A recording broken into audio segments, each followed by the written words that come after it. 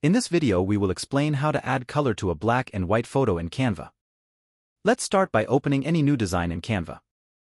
After that, click on Apps at the bottom. Now in the search box type Colorize.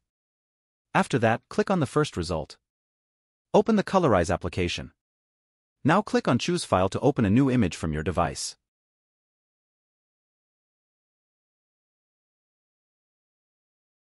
Choose the image you want, then click Colorize Image. Now wait several seconds for the image to be processed.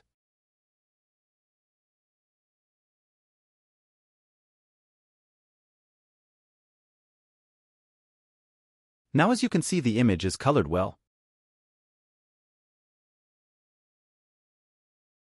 I will try another image with the same steps.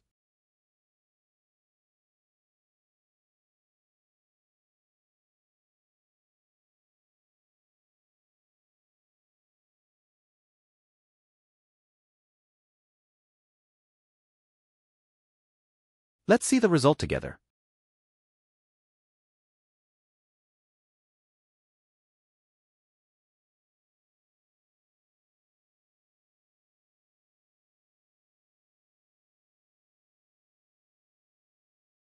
Thanks for watching and don't forget to like and subscribe to the channel.